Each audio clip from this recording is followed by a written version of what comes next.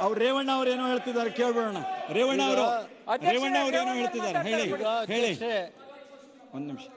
ಈಗ ಅಧ್ಯಕ್ಷರೇ ರೇ ಒಂದು ನಿಮಿಷ ರೇ.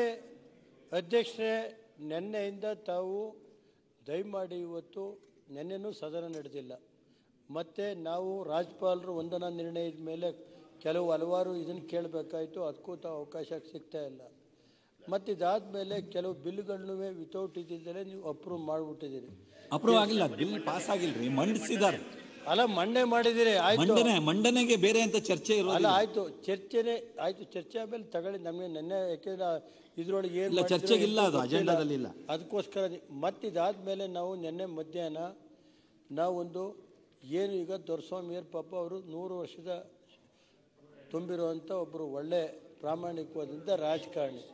ಅಲ್ಲ ರೀ ತಡೀರಿ ರಾಜಕಾರಣಿ ರಾಜಕಾರಣಿ ಅಂತ ಅಲ್ಲ ರೀ ನಾನೇನು ಸ್ವಾತಂತ್ರ್ಯ ಹೋರಾಟಗಾರರು. ನಾನು ಆಯ್ತು ಈಗ ರಾಜಕಾರಣಿನೇ. ಅವರು. ರಾಜಕಾರಣಿ ಕಾಂಗ್ರೆಸ್ ಪಕ್ಷದ ರಾಜಕಾರಣಿ ಅವರು ಏ, ಆಯ್ತು ರೀ, ಸ್ವಲ್ಪ ಇರ್ರಿ ಹೇಳ್ತೀನಿ. ರೇವಣ್ಣ ಅವ್ರು ಮುಂದುವರಿಸಿ ತಾವು ಮುಂದುವರಿಸಿ ಸರಿ ಇದೆ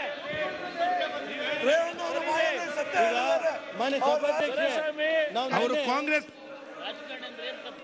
ರೇ ಮಾನ್ಯ ಸಭಾಧ್ಯಕ್ಷರೇ ನಾನು ಅವ್ರೇನು ರಾಜಕಾರಣಿ ಅಲ್ಲ ಸ್ವಾತಂತ್ರ್ಯ ಹೋರಾಟಗಾರರು ಅಂತ ಹೇಳ್ತೇನೆ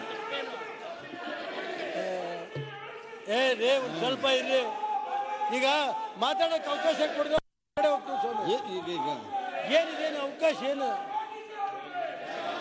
ನೀವಿಬ್ರು ಸೇರ್ಕೊಂಡು ನಾಟಕ ಮಾಡಂಗಾಯ್ತು ಅಷ್ಟೇ.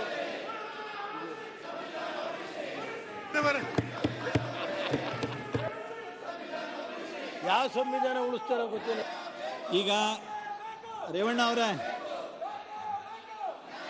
ಈಗ ನೀವು ಮತ್ತೆ ಪ್ರತಿಪಕ್ಷದ ನಾಯಕರು ಶ್ರೀಯುತ ಸಿದ್ದರಾಮಯ್ಯನವರು ಮತ್ತು ಎಲ್ಲ ಸದಸ್ಯರಲ್ಲಿ ವಿನಂತಿ ಮಾಡ್ಕೊಳ್ತೀರಿ ತಾವು ತಮ್ಮ ಸ್ಥಾನಕ್ಕೆ ಬಂದು ಸಂವಿಧಾನ ವಿಷಯದಲ್ಲಿ ಚರ್ಚೆ ಪ್ರಾರಂಭಿಸೋಣ ನಿಮ್ಮೆಲ್ಲರ ಸಹಕಾರ ಬೇಕು ಸಂವಿಧಾನ ವಿಷಯದಲ್ಲಿ ಚರ್ಚೆ ಪ್ರಾರಂಭಿಸೋಣ ಸಂವಿ- ಸಂವಿಧಾನ ಬನ್ನಿ ತುರ್ತು ಪರಿಸ್ಥಿತಿ ತಂದು